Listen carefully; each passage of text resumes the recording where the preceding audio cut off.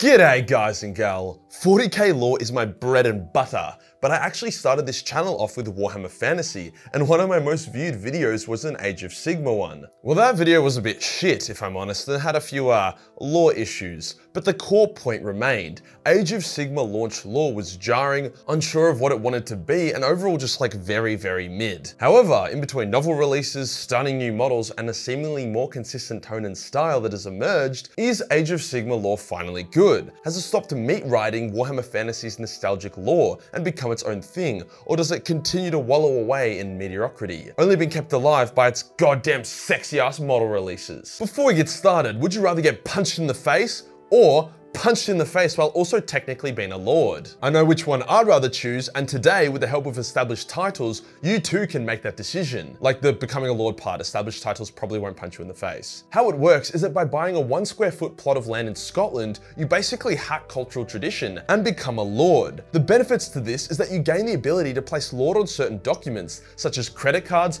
boarding passes, or even dating apps. If that hasn't convinced you, then did you know that for every order placed, established titles will plant one tree via their global partners, one tree planted and trees for the future. So not only are you becoming a lord of this planet, but you're also helping to save it. This isn't just some like tokenistic thing, you actually get that square plot of land, and can even search it up. Overall, a great gift for yourself or a loved one, especially with Christmas coming up. So to get 10% off your order and put your plot next to mine, forming our very own Majorkill Kingdom, then use my link below. Cheers to established titles for sponsoring this video. Today we'll take a look at Age of Sigmar's lore to see what state it's currently in. Not so much deep diving or retelling the lore because I'd just fuck it up again, but more analysing its direction, if it's improved from its launch and its overall vibe, to try and determine if it's worth exploring Age of Sigmar lore. Let's get into it.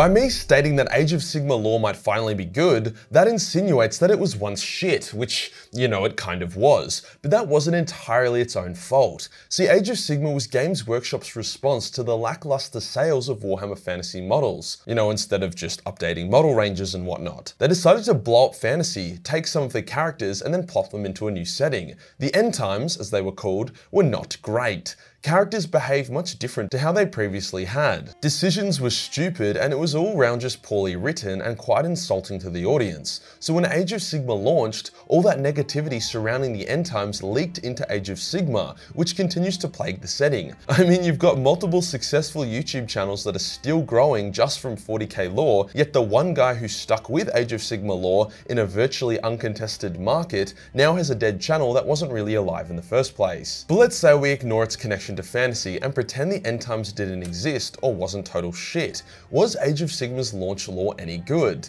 I mean, it wasn't terrible as a standalone. Gods walked the battlefield, there were multiple interesting realms, and there was a fuckload of backstory that explained how things came to be. Almost too much backstory, but that's okay. However, the launch was pretty bare bones. There was the Stormcast Eternals who were mocked for being basically fantasy space marines, Sigmarines if you will. And whilst we were told that all these new cool elves were hanging around, none of their models or art or lore had been released yet, so they were just like a thing, I guess. However, the one thing that really stood out was how much cleaner and seemingly not grimdark the setting had become.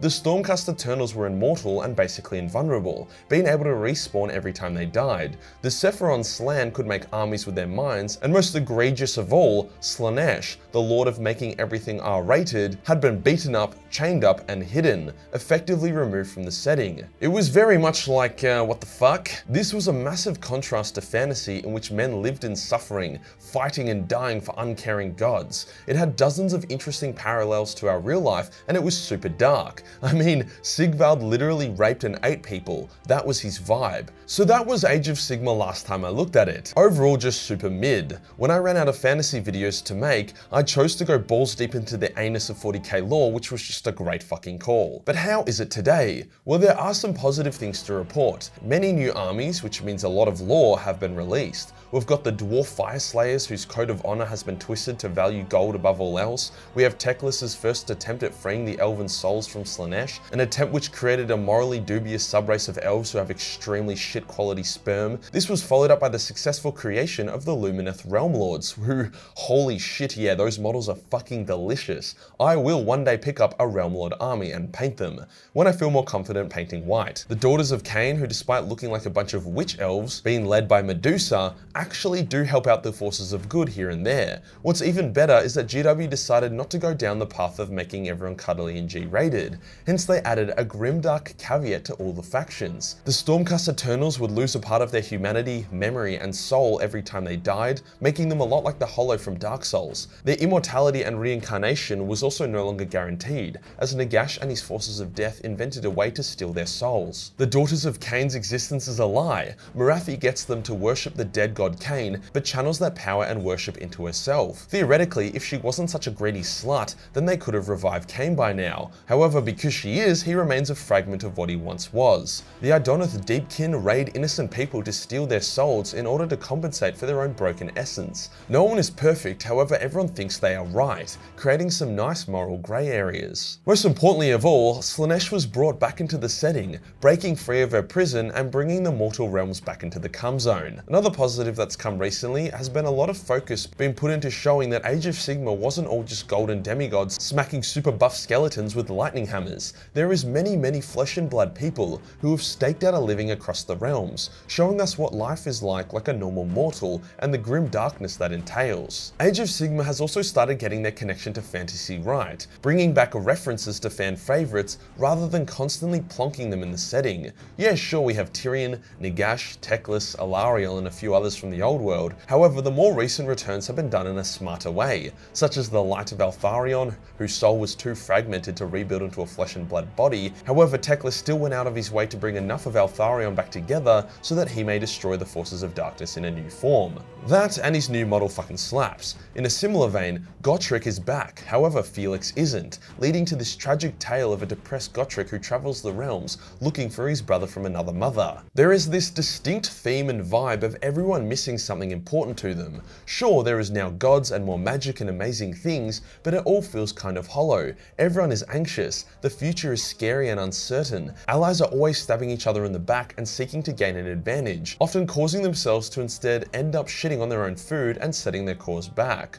Also, Morathi once tried to seduce and fuck Nagash, and in response he bitch slapped the fuck out of her, so that was quite funny. Despite these positives, it doesn't even get close to matching the depth and quality of 40k lore, at least not yet. This isn't entirely its own fault though, it's been pumping out a shitload of lore and world building, but it hasn't had the years it really needs to get deeper than a black man in an e-girl's clunge. Right now, it's clear that Age of Sigmar is still building the foundations, introducing interesting concepts and areas without diving too deep into them. It's a quantity over quality situation at the moment in regards to the lore, which is only a bad thing if they never go back and dig deeper. If we compare 40k to Age of Sigmar, lore-wise 40k will shit on Age of Sigmar every time, but it's supposed to.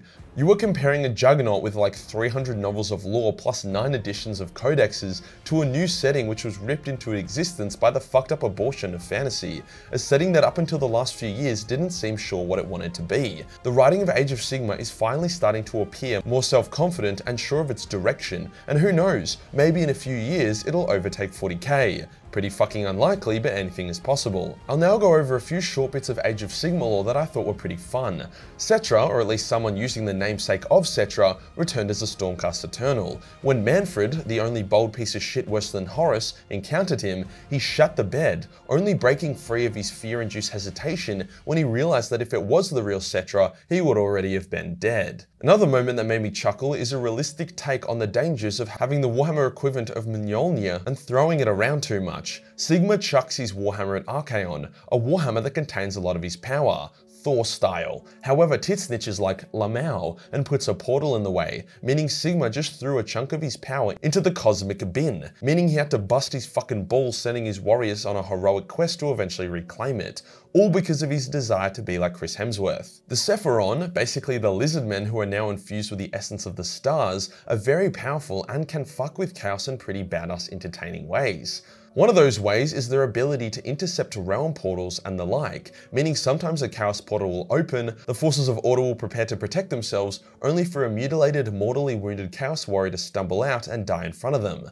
The Seraphon are kinda like the Harlequins in this aspect. Teclis fucking up really badly during his first attempt at freeing the elven souls from Slaanesh was a bit of a gag. Basically, he could sense something was wrong with them, like their time in Slaanesh had tainted their souls. So instead of creating a soul cleansing ritual or giving them free therapy therapy to treat their PTSD, he instead cum blasted them with a ray of burning light that seared into their souls, causing them to run away as he quickly tried to genocide them.